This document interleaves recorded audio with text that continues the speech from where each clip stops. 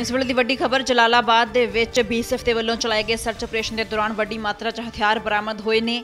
ਜਿਨ੍ਹਾਂ ਦੇ ਵਿੱਚ ਤਿੰਨ AK47 ਰਾਈਫਲਾਂ, ਦੋ M16 ਟਾਈਪ ਦੋ ਪਿਸਟਲ ਅਤੇ ਮੈਗਜ਼ੀਨ ਵੀ ਬਰਾਮਦ ਹੋਏ ਨੇ। ਇਸ ਨਾਲ ਹੀ ਕੁਝ ਧਮਾਕਾ ਖੇਜ ਸਮੱਗਰੀ ਵੀ ਬਰਾਮਦ ਹੋਈ ਹੈ। ਜਾਣਕਾਰੀ ਦੇ ਮੁਤਾਬਕ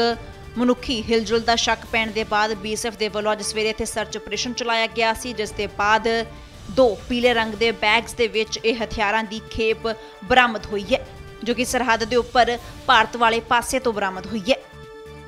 ਜਲਾਲਾਬਾਦ ਤੋਂ ਰਣਜੀਤ ਸਿੰਘ ਦੀ report.